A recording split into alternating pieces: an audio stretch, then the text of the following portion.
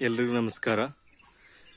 ಇವತ್ತು ಈ ಫಾರ್ಮಲ್ಲಿ ಅಂದರೆ ಮಣ್ಣನ್ನು ಎತ್ತು ಕೊಡ್ತಾ ಇದ್ದೀವಿ. ಅಂದರೆ ಗೆಡ್ಡೆಗಳಿಗೆ ನೋಡಿ ಈ ರೀತಿ ಇತ್ತು. ಸ್ವಲ್ಪ ಗ್ಯಾಪ್ ಇತ್ತು. ಅಲ್ಲಿ ನೀರು ನಿಲ್ಲೋ ಚಾನ್ಸಸ್ ಇರುತ್ತೆ. ಮಳೆ ಬಂದಂತಹ ಸಂದರ್ಭದಲ್ಲಿ ಅಂತ ಹೇಳಿ.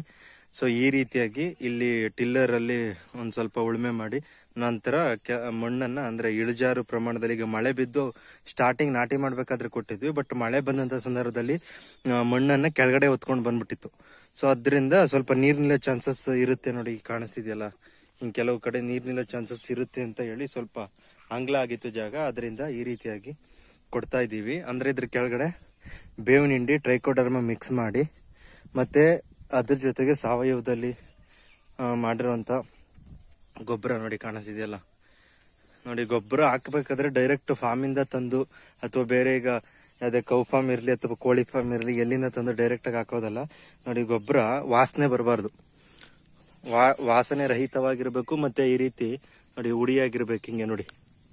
ನೋಡಿ ಈ ರೀತಿ ಉಡಿಯಾಗಿದ್ದಂಥ ಸಂದರ್ಭದಲ್ಲಿ ಅದು ಯೋಗ್ಯವಾಗಿರ್ತದೆ ಫಾರ್ಮ್ಗೆ ಕೊಡಕ್ಕೆ.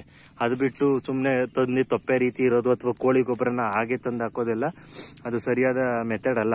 ಅದು ಮಾಡಿದ್ರೆ ಗಿಡಗಳಿಗೆ, ಬೇರ್ಗಳಿಗೆ ಹಾನಿ ಆಗ್ತದೆ ಸೊ ಈ ರೀತಿಯಾಗಿ ಗೊಬ್ಬರ ಫುಲ್ಲು ಕಂಪ್ಲೀಟಾಗಿ ಆಗಿ ಉಡಿ ಉಡಿಯಾಗಿರ್ಬೇಕು ನೋಡಿ, ಈ ರೀತಿಯಾಗಿ, ನೋಡಿ ಇಲ್ಲಿ ಕಾಣಿಸಿದೆಯಲ್ಲ ಈ ರೀತಿಯಾಗಿ ಮಣ್ಣನ್ನು ಎತ್, ಎತ್ತರಿಸಿ ಈ ರೀತಿಯಾಗಿ ನೀಟಾಗಿ ಕೊಡಬೇಕು. ಸೊ ಆ ಕೊಟ್ಟಂಥ ಸಂದರ್ಭದಲ್ಲಿ, ಮಳೆ ಬಿದ್ದಂಥ ಸಂದರ್ಭದಲ್ಲಿ, ಆ ಮಳೆ ನೀರು ತಕ್ಷಣ ಕೆಳಗಡೆ ಇಳಿಜಾರು ರೀತಿ ಮಾಡಿರೋದ್ರಿಂದ ತಕ್ಷಣ ಬರುತ್ತೆ ನೋಡಿ. ಇದಕ್ಕೂ ಇದಕ್ಕೂ ಕಂಪೇರ್ ಮಾಡಿ.